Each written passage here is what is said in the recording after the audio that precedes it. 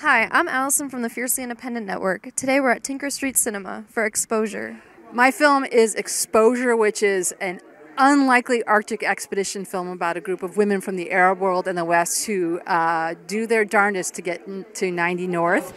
This uh, may well be, and with each passing year, uh, it's looking like this will be the last team ever to reach the pole, which is a grim uh, but real fact. And I, I think that, so yeah, it's a first and a last it was difficult, right? It is extremely cold, and um, you know we were strapping batteries around us to try to keep them a little bit warm. You know, no generators, nothing like that. So it it, uh, it was a very tough production, um, and yeah, that's the that's a long and short uh, The audience reaction to the film was fantastic. Uh, I mean, from a director's perspective, they were laughing, they were crying. Um, so that was it was wonderful, and I think that Woodstock has such a, a smart and loyal film community that um, just really appreciates being in a room together and watching great cinema. So it's been a pleasure to show exposure here.